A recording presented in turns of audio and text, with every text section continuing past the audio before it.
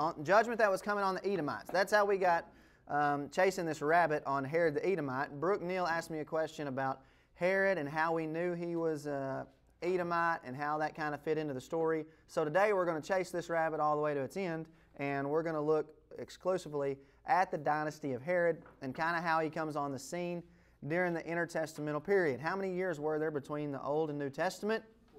400. Good. We call that the intertestamental period, and Herod has his rise during that time. So let's start on these notes. And if this is boring, blame Brooke Neal, not me. Um, I'm just trying to answer a question. So here we go. This history is taken from Bruce Gore's work found in his book called The Historical Context of the Bible. It's a really good book. He covers a whole lot of stuff. It's an expensive book, but it's worth it, so you should get it. This is a collection of my own research, heavily influenced by his, as well as an extended article from the Blue Letter Bible app and the works of Flavius Josephus, who was a Jewish historian who wrote um, first, second century, right around that type of the turn. Okay, we good? All right. People estimate that Herod the Great lived from 74 BC to 4 BC. Remember, the numbers are working down. We'll talk more about when Jesus was born in just a minute. Herod was born to Antipater the Idumean. His mother was Nabatean. And you might remember a couple weeks ago in your Obadiah notes, I stated that the Nabateans came in and took over the Edomites about the mid 500 BC. Okay, let me write that down to make sure you can get it the Nabateans took over the Edomites about mid 500 BC, specifically 543, I think was the number. So do with that what you want. And from that time, the Edomites, who were a people, kind of got mingled in. They were a known prominent people. Then from that point, they were kind of mingled into a smaller one. That's kind of when the term Edomite starts to fade and they start to call them Idumeans. So Idumea, Edom, that whole deal. If, if you want this in map form, I'll give it to you in this way. All right, this is the Mediterranean Sea. Edom would have been down here. Jerusalem would have been right here and Nabatea would have been over there. Does that help? You're also thrilled and intrigued by that work. I know you are. I can just sense it in my bones. Okay, so Herod was not a Jew, though he was from Esau, the brother of Jacob. And all of this, if you haven't been here, has been a Jacob versus Esau play that plays all throughout the scriptures. They were always kind of at war with one another. Did God tell the Israelites that they could demolish Edom? Yes or no? No. What did he tell them? They had to be good to him, right? Why? Because he is your brother. Very good, Miss Karen. All right, I like it. So he's not a true Jew, even though he was from Esau, the brother of Jacob. All of this is attested by the historian Flavius Josephus in his History of the Jews. Uh, he wrote the Jewish Wars, he wrote History of the Jews, the Antiquities. Just go search up Josephus if you want to, and you can read about all of his stuff. Essentially, what Josephus was, was a Jew that became a de facto traitor to Rome, and he didn't believe in the Messiah. So he gives an unbiased, from the Christian perspective, view of the history of the Jews. I didn't mean for that to rhyme, but it did. Okay.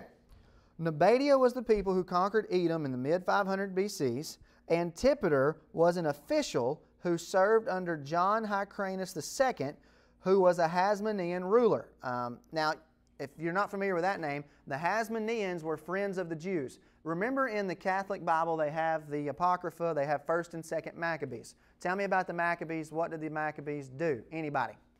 See how good we are at history in this class. Somebody tell me about the Maccabees.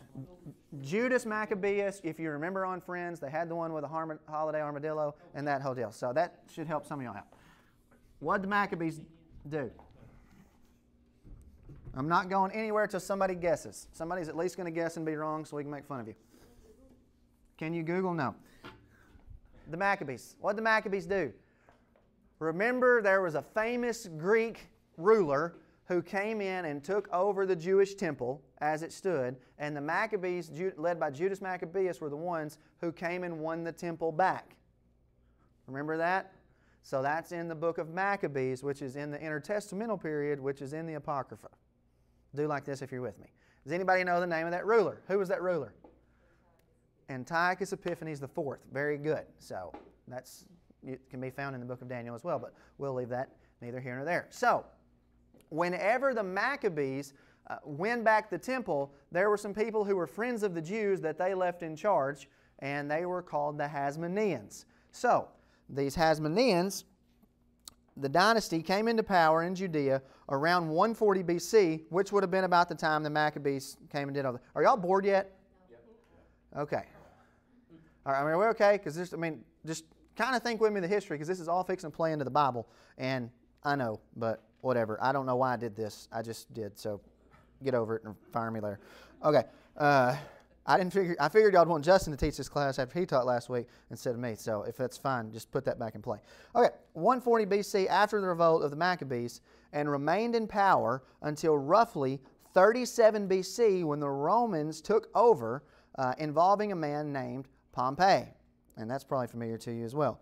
Bruce Gore states that toward the end of his power, Antipater was appointed over Judea by Rome and set his son Herod in charge of Galilee. So that would be Herod the Great over the region of Galilee, which wasn't considered much, so he just gave it to his son. This was roughly in the year 47 BC. Antipater was assassinated just a few years later. All right, let's keep going. All of this is in the middle of Roman chaos as Julius Caesar was killed in 44 BC, leading to the Battle of Philippi when Octavian, who is Caesar Augustus, and Mark Antony defeated Brutus. So you had Brutus kill Julius Caesar, then Octavian and Mark Antony go and defeat Brutus. Herod, who is now ruling Judea, waited to see who won before declaring allegiance. Typical politician move. So he learned politics early on in his days, just waiting to see who won. And Octavian and Mark Antony won. Around the year 40 BC, a man named Antigonus, who was Hasmonean, decided he didn't like the Roman presence, which included Herod's rule. You got to think about this too, guys. Turn in your Bibles right quick to Matthew chapter 1. Let me just make sure you get this, get this noted because this is so important to the biblical story. Matthew chapter 1.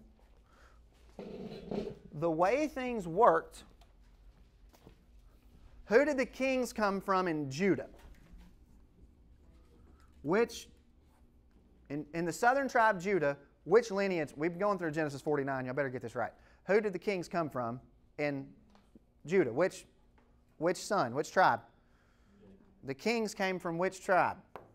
Okay, good. So the kings come from Judah. Remember, who do the Levites come from? Uh, sorry, who did the priests come from? Gave it away. The priest comes from, uh, from the Levitical tribe. This is the way this should work. You descend from here, you descend from here. Look at Matthew chapter 1, and let me show you something. Now, remember, you've got the rule of David, and then it splits, and you've still got this structure, though. The kings are coming from Judah, and the priests are coming from Levi. Matthew chapter 1,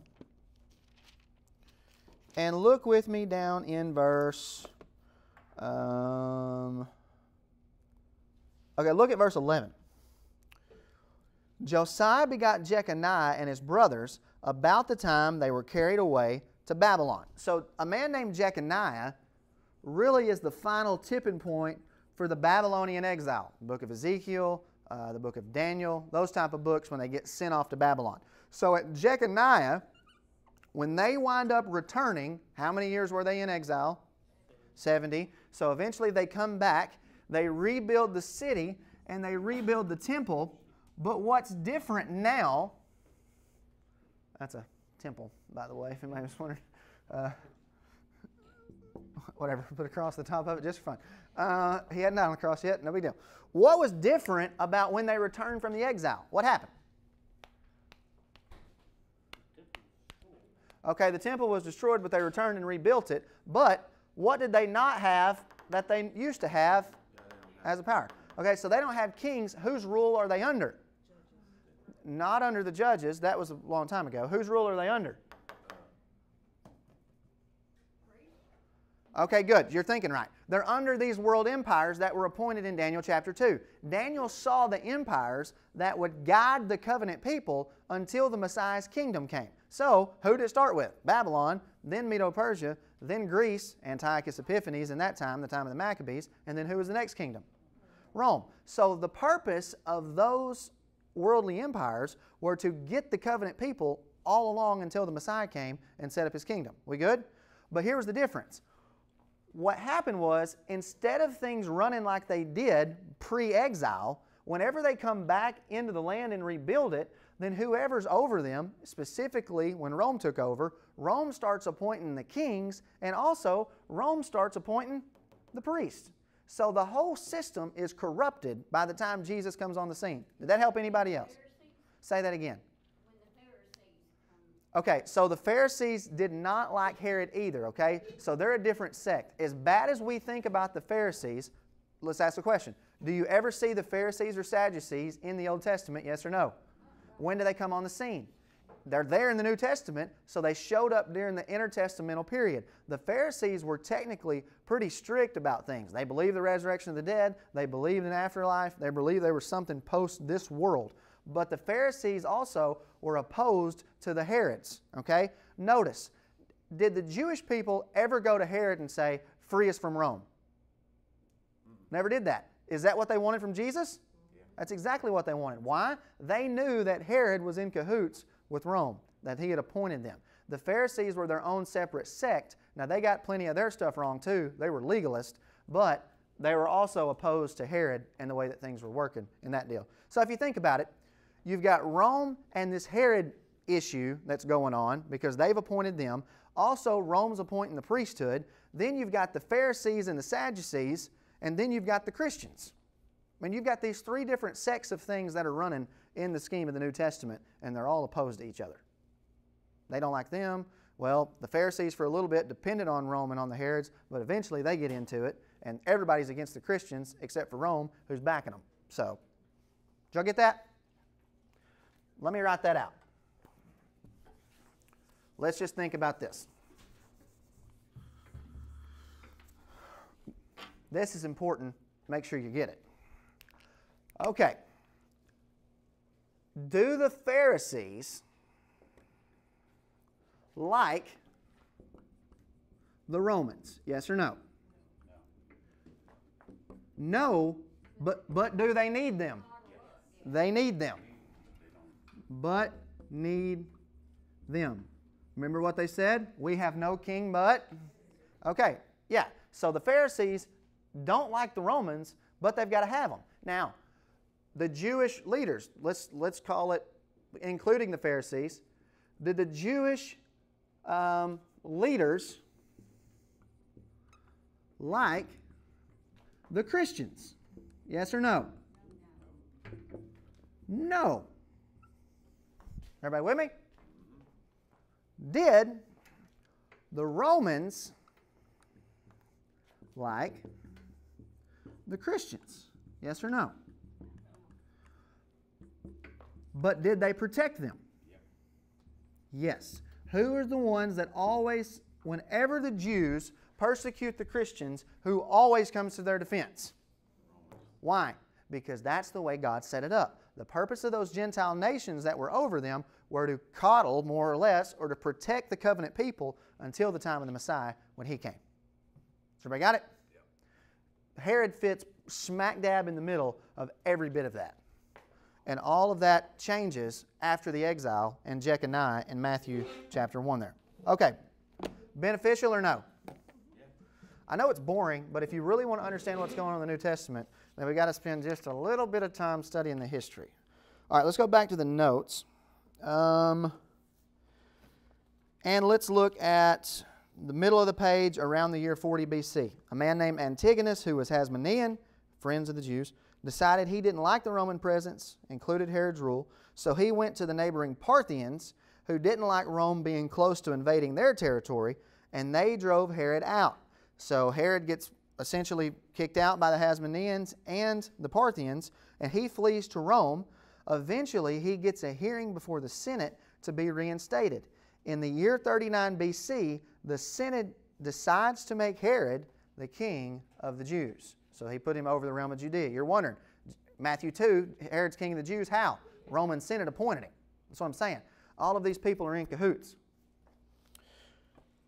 This is obviously important to the biblical story in Matthew 2. Not only was the Herod dynasty involved with Jesus, but also responsible for beheading John the Baptist and encountering Paul on trial at the end of the book of Acts. More on this later. In 37 BC, Herod reconquers Jerusalem away from the Parthians with the help of Mark Antony. And his relationship with Mark Antony is extremely important, so note that down. And I spelled Mark wrong there. Uh, I'm pretty sure it should be M A R C. Nonetheless, keep going. The Jewish people understood Herod's connection to Rome, which is why they didn't look to him or his family to get them out from under Roman rule. They did look to Jesus for this in John 6. Remember, Jesus feeds the 5,000? And it says in John 6, they came to Jesus, tried to take him by force to make him king. And what Jesus do? He fled away because that wasn't the type of king he was. He wasn't going to give them a physical kingdom to go and fight with sword and battle to defeat the Romans. Jesus said, My kingdom is not of this world. If it were, my servants would fight. What was his, is his kingdom in the world? Yes, but it's not ran like kingdoms um, all over the rest of the world. He conquers by the sword of the gospel, the sword of piercing going out. Isaiah chapter 2 says, there, in the time of the new covenant, they would beat their swords into plowshares. I got that? Know what that means? Instead of fighting physically, they beat them into plowshares for harvesting, preaching the gospel, and they came in. Yes, ma'am, it does. I think it's Isaiah chapter 11. Okay. Very last paragraph. It says, I also think getting out from under Roman rule was the reason for wanting Barabbas, who was a zealot, per John 18. Zealots were the ones who, who wanted to go to war against the Romans all the time. They constantly wanted to go to war against the Romans, and that's what the Jews wanted from Jesus. Well, remember, you've got Barabbas and you've got Jesus, and they, they say pick one. Well, Bar means son of, Abba means father. You've got a worldly son of the Father who's wanting to physically fight the Romans, and you've got the heavenly son of the Father, Jesus, and they wanted the worldly son of the Father. So they chose Barabbas instead of Jesus, the true Son of God, who would be the one who would free them from everything. Make sense? All right. Next page. I know y'all wanted a history lesson this morning. I'm trying to put people to sleep today, so stay with me. One of Herod's biggest issues was whether or not the Jews liked him. And if you'll remember, remember how Pontius Pilate got blackmailed when Jesus was on trial?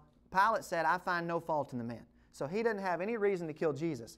The problem was, Pilate's predecessor had been removed because the Jewish leaders cried on him to Rome. So they kept calling Rome and said, hey, we don't like this guy, causing issues. So they got Pilate's predecessor removed. Pilate knew that. He didn't want that to happen to him, so he's like, whatever, I'll pacify him, I'll kill this guy. Not, no big deal. That's the way they do. Play political games, win political prizes. So Herod had to watch his P's and Q's, and he needed the Jews to like him. He's not really a true Jew. Herod went into action and took a Hasmonean wife, who were the Hasmoneans were friends of the Jews, remember, named Mariamne, who was a princess, and he married her in 37 BC. This gains him favor with the Jews. Per Bruce Gore, at this point, he does away with his first wife, Doris, and the son, Antipater. So he banishes them, gets rid of them. This is a good point to talk about Rome controlling the priesthood, which we've already done. No longer Levitically pure like it was in the old days, the Jewish society had become corrupted and integrated with Rome. In Acts 23, Paul speaks roughly to a man, not realizing he's the high priest. Now, let me ask a question.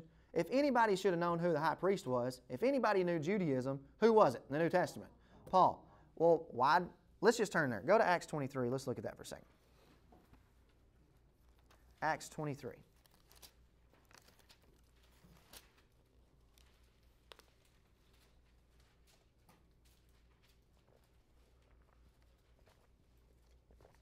Acts 23, verse 1.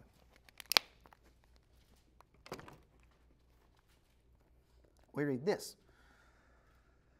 Then Paul, looking earnestly at the council, now remember, he's on trial and he's in front of the Sanhedrin, said, Men and good brethren, I have lived in all good conscience before God until this day. And the high priest Ananias commanded those who stood by him to strike him on the mouth. Then Paul said to him, God will strike you, you whitewashed wall. for, for you sit to judge me according to the law, and do not command do you command me to be struck contrary to the law? He'd done nothing wrong. And those who stood by said, Do you revile God's high priest? Then Paul said, I did not know, brethren, that he was the high priest, for it is written, You shall not speak evil of a ruler of your people.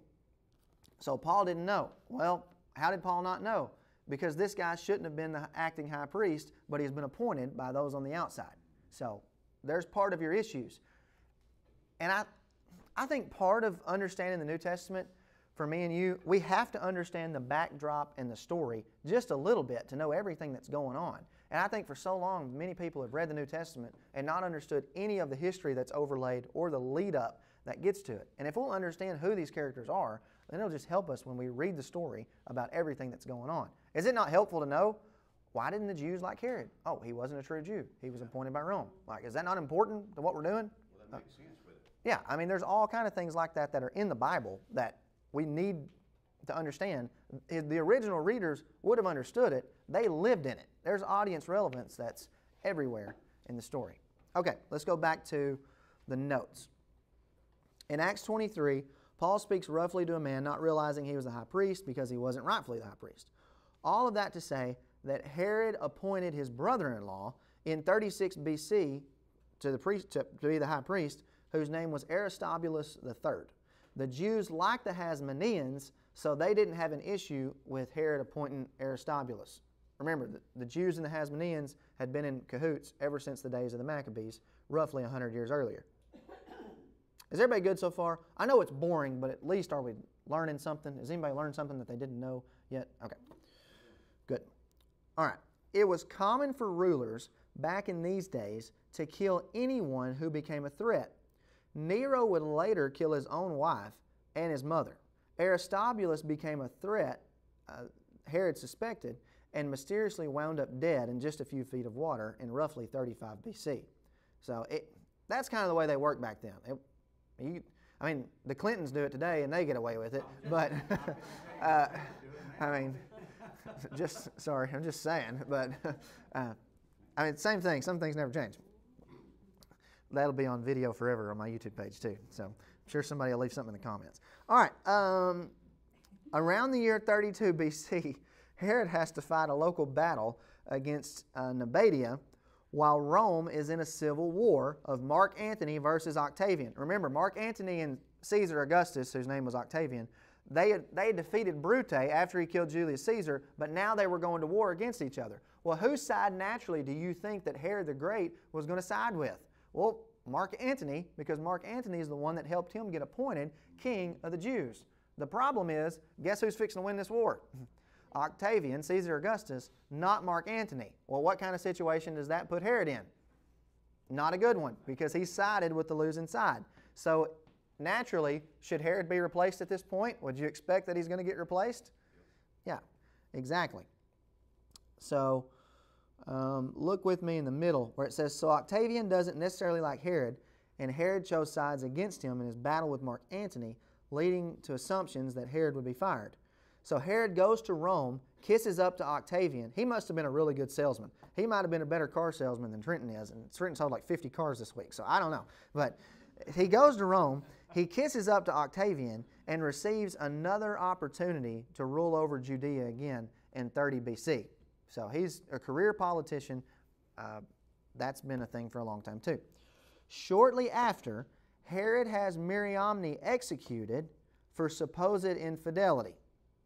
Josephus records this and states the 25 year old Miriam, uh, Mariamne died with dignity. Over the next few years, Herod kills yet again when perceived uh, threats come against his power. One example was a brother of Mariamne whose name was Costobar. Herod had him killed. So he kind of becomes paranoid in these days leading up to the time of Christ. He then takes on a few building projects, and I'll be honest, I learned some things in this section of this this week while I was studying this. One is the rebuilding of Samaria, which now would be called Sebaste. In the year 23, he builds his own palace called the Herodium. It was extravagant, wealthy, huge, um, probably about 20 miles from Jerusalem. It was made of large stones, and Josephus says it was essentially a man made mountain that he built. Everybody would marvel when they looked at it. In 22 BC, he also builds Caesarea Maritima. You ever read the New Testament and wonder, why are all these places called Caesarea? Caesarea Philippi, why are they doing that? Yeah, they're just sucking up to Caesar. That's all they're doing. Well, we're going to rename it after Caesar, so he'll like us. Maybe he'll appoint us and move us up. In 20 BC, this is the most important building project. In 20 BC, he began to construct the Jewish temple. Let me clarify. He would expand and beautify it. This was the second temple built in Jerusalem. He was now making upgrades to it. Solomon's temple was destroyed in roughly 586 BC by Nebuchadnezzar in Babylon, then returned from the exile, allowed folks such as Ezra and Nehemiah to rebuild Jerusalem. Now, in the year 20 BC, Herod would put his touches on the temple that we see in the New Testament, which is why it's often called Herod's temple. And I'll be honest, I didn't know that. I hear it called Herod's temple all the time, and I'm like, well, Herod didn't build that temple. What he did was upgrade it. And he upgraded it with these massive stones, just like he built out of his palace. Continuing on, these stones were so large, it would have been unimaginable for it to be destroyed. And I think this is why in the Olivet Discourse, when Jesus predicts its destruction, the disciples were so shocked. Remember, he said, Not one stone will be left upon another? Well, that's because Herod just did this massive upgrade to this building project, and they're saying, What? When's this going to be? What's going to be the sign of your coming at the end of the age? In the year 10 BC is when this was dedicated. Do you think the Jews liked it? Absolutely. They loved it. So Herod's gaining favor, and that's why you still see the Herod dynasty even after Herod the Great dies. In 8 BC, he accuses his two sons, Alexander and Aristobulus, of high treason. They were later executed. In 4 BC, he executes another son named Antipater for treason as well. If he thought you were coming against him, he'd just say, Ah, you're committing treason, you're trying to get me removed, and he'd just wax them. They, all those kings and rulers did that stuff all the time.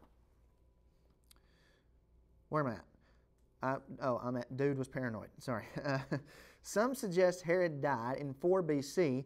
Personally, I believe it could have been 2 BC, but that's speculation. Now, here's why I say that. Let me show of hands here. How many of you think that Jesus died in 33 AD? By show of hands. 33. How many of you think Jesus died in 30 AD? By show of hands. Which is it? I don't know. Uh, it's speculative. but here's why it matters. We know that Herod was still alive when Jesus was a baby in Matthew 2. Remember? Jesus, at least, I think speculatively, was probably two years old when they go and return back. So they're going to go return. But then they hear Archelaus was ruling in Judea, so they went by and, and went to Nazareth, I think it was. So if Herod dies in 4 BC, then that means Jesus would have been born in 6. Well, the year 0 doesn't count, so 6 down 1, that's 5. Jesus would have died in roughly 27. I don't think that adds up. If Herod dies in 2, that means that Jesus would have been born in 4. Everybody, stay with me for a second. If Herod dies in 2, Jesus would have been born in 4. Well, there's three years plus 30. That gets you to the year 30 AD and lets Jesus be 33 and a half years old when he dies. That's my speculation. I don't know if that's right or not. If Jesus was born in the year zero, and that's what they're doing with the calendar, whatever, I don't care. It doesn't change anything at all to me. If he died in 33 or if he died in 30. But a lot of people use Herod's death to help with that dating. That makes sense to anybody, or was that way too much? Okay. All right, let's finish this up. Herod had 10 wives and children by five of them. The kids are who we need to care about, um, and they are Herod Archelaus, Matthew 2. Remember, where did Jesus and them flee? In Matthew 2, when Jesus was a baby, Joseph took him down to where? Egypt, and then they heard Herod died and they came back. Well, his son, Herod Archelaus, was the one that was in rule. He was so bad, he was exiled by Rome in 6 AD. His rule didn't last very long. Another son was Herod Antipas in Matthew chapter 14. Antipas is the one that kills John the Baptist and is the one who Jesus appears before on trial in Luke 23. Remember when Pilate said, I find no fault in the man? He sent him to Herod. Well, he didn't send him to Herod the Great. He sent him to his son, Herod Antipas, who wanted him to dance and put on a clown show, and then he sent him back over to Pontius Pilate. So this is a dynasty that's running all the way through. And what you see is Herod the Great, Herod's sons, Herod's grandsons, and all the way down to Herod's great grandsons in the New Testament. That's a and it's very possible that in Daniel chapter 7, when it talks about the little horn, a lot of people think the little horn is the dynasty of the Herods that caused all this issue with the Christians all the way through. All right, remember in Matthew 14, John the Baptist gets beheaded? Here's why. Who was it that was that did this? Uh, Herod Antipas had taken another son of Herod, Philip II, had taken his wife. And John the Baptist was like, uh, You can't do that. And they said, No, we're not listening to John the Baptist. So for the birthday, they cut John's head off and brought it on a platter. Well, the girl asked for it. Yeah, the girl asked for it. No, the wife, but the right. Yep. Nobody gonna talk about my mama like that. So okay, let's keep going. Finally, Herod Philip II. Now, why Herod would name one son Philip I and the next one Philip II, I have no idea, um, but he did. Finally, Herod Philip II, whose wife was stolen by Antipas in the wild Matthew 14 story.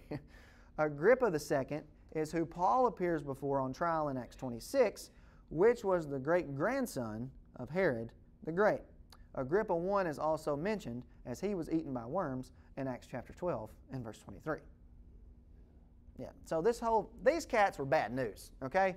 So all the way from the beginning, they were always against them, and it's no different than Esau coming against Jacob in the Old Testament. So you show up in Matthew 2 and you've got Jesus is born king of the Jews, and Herod's like, nah, that ain't flying. I'm the king of the Jews. The Roman Senate said so in 39 BC. Well, we see who won out, so. All right, does that help? Uh, that should cover a lot of things that you want to know about Herod the Great for the rest of your life. So we won't ever have to do that again. And some of you are thinking, never coming back to this Sunday school class. but, all right, any questions?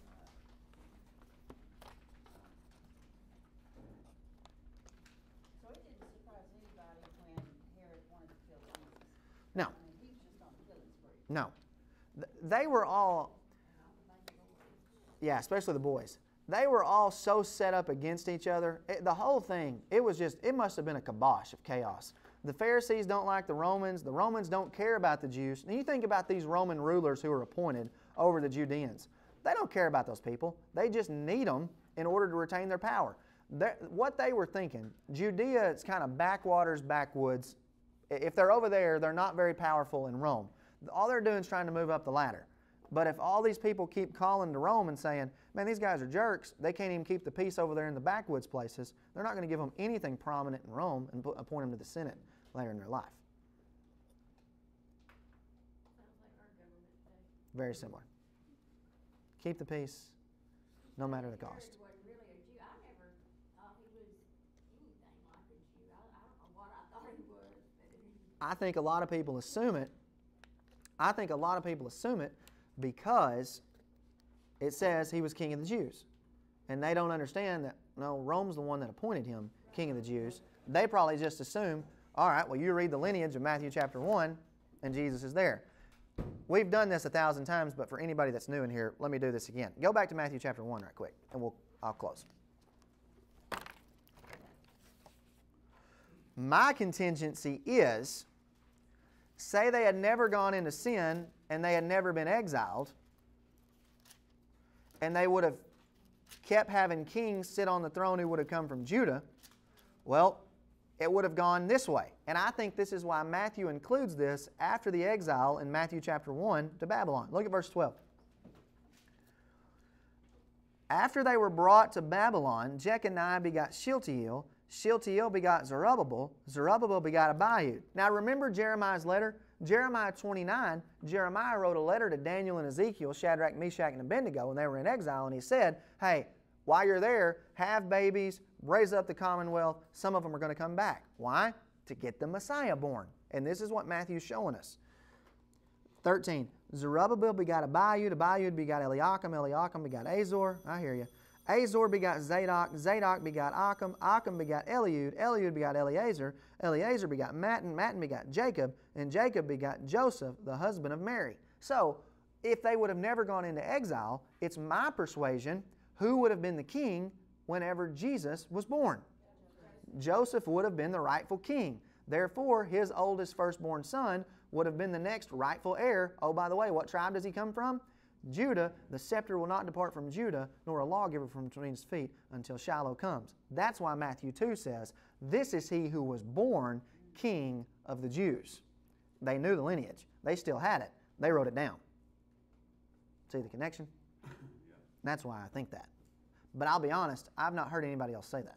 So take it, study it, and do with it what you want. Okay. Is that good?